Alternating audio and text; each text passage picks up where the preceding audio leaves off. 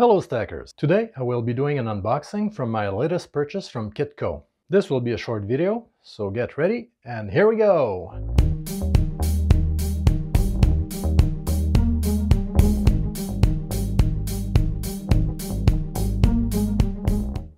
Alright, so let's have a look right now.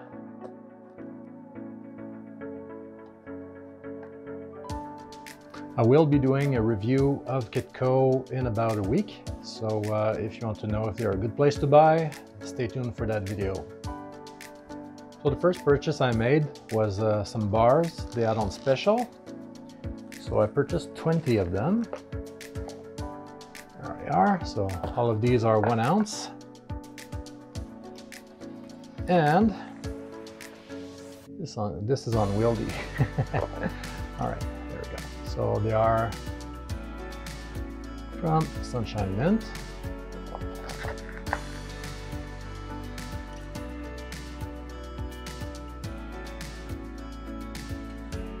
I don't have the special uh, I don't have the special card to verify the, the authenticity, but from Kitco I don't think I have to worry about that. So 20 of them.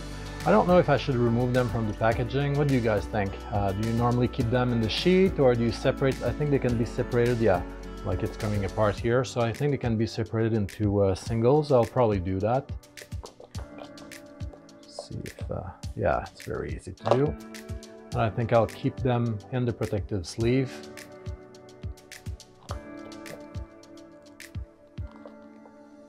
Kitco did give me uh, a tube for, uh, for bars. It uh, allows you to put 20 of them inside of it. But uh, I had 11 other bars that uh, uh, I had no place to keep really, so I put them in that tube. Uh, since those are sleeved, I think I'll just leave them as is so they are protected and I'm not going to use the tube for them.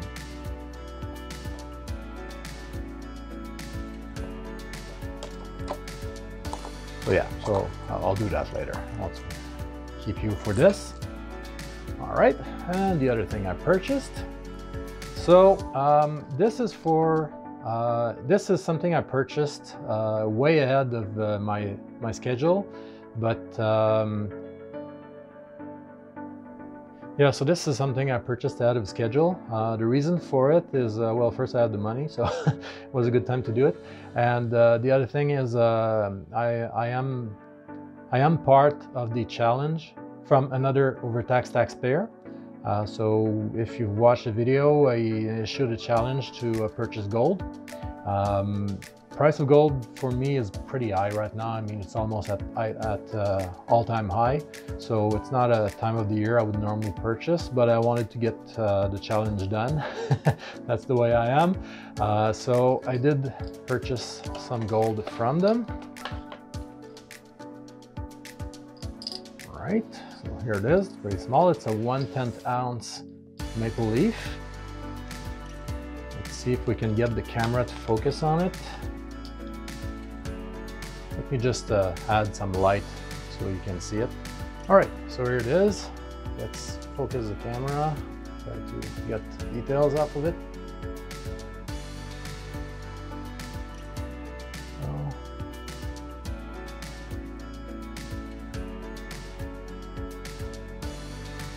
It's tiny, but it's beautiful.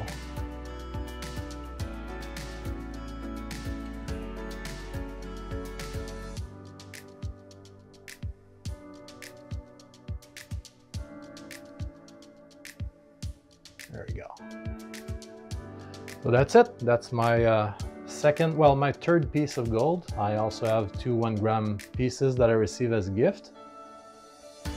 So this uh, makes my total, the totality of my uh, gold stack go from 2 grams to 5.1 grams and I'm really happy about it. So there we go.